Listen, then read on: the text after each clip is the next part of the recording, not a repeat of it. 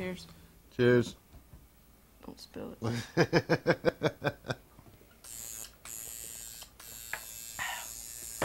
okay. Why were there so many members of Stopper? Mark, what's your take on this? Seriously. know. Maybe, maybe I was an asshole. No.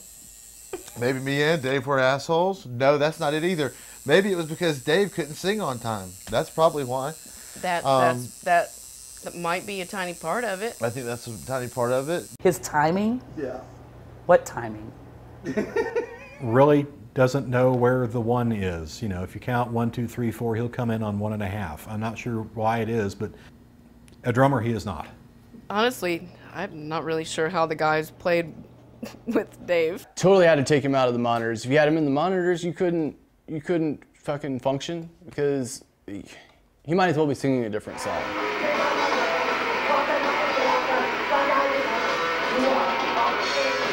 Sometimes uh, I, I think the sound guys might have taken him out of the mix for the audience.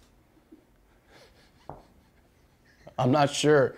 It was it was it was bad. It was it was bad. It was that far off. But nobody, as far as the audience, nobody cared because he was entertaining to watch. You don't have enough rhythm to masturbate. Personally, my belief is that Dave's lack of timing really uh, gave Stopper some kind of uh, edge.